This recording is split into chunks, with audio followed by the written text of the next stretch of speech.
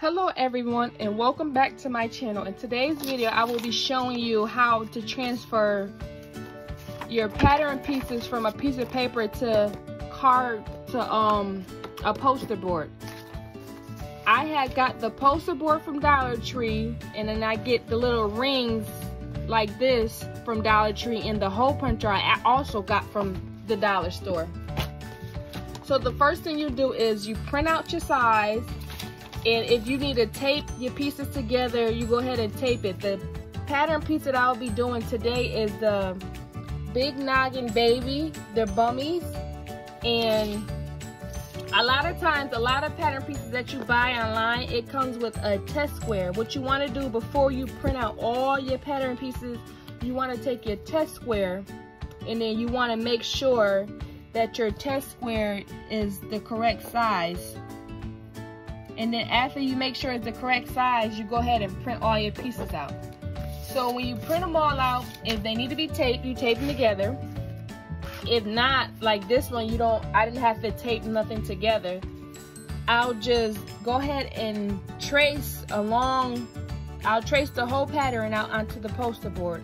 And then when I get done tracing it, I'll make sure I write all the stuff that's on here that make sure that you got the back piece to cut on the fold, the fold, and the grain line and the company that is from. If you use more than one company, make sure you put the company that the pattern goes to so you can know that this um pattern goes to that.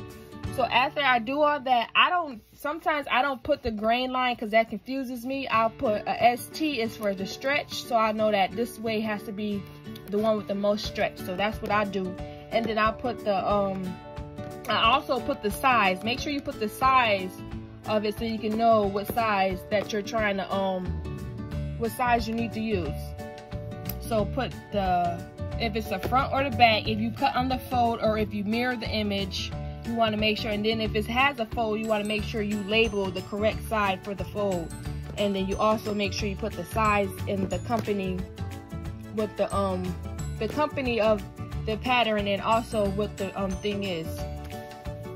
So after I do all that, I, um, after I trace all around and then I'll cut to the next size and do the same thing until I get done with that. And then I just get my hole puncher and punch holes in the corner of all all the um pattern pieces and then I'll just put it on the ring and then I'll have all my pattern pieces on this so whenever somebody just asks for a size I'll just go and get the size that I need instead of looking through my pattern pieces and figuring out or having to print a new one out. So I hope this was helpful to you guys. This is was help for me if I um especially if you do a lot of kids clothing, this will come in handy. But with the adult size, it will be hard because their um pattern pieces are bigger.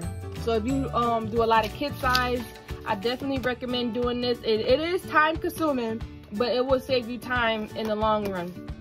So thank you again for watching this video. Please make sure you like, comment, and subscribe. I really appreciate it and helping me reach my goal to a thousand subscribers. Once I reach my goal to a thousand subscribers, I will start sending the, some of the pieces that I make in a video. I will start picking one of you guys and making something for you and sending it to you just for um subscribing to my um channel. Thank you again and make sure you have a good day. Bye.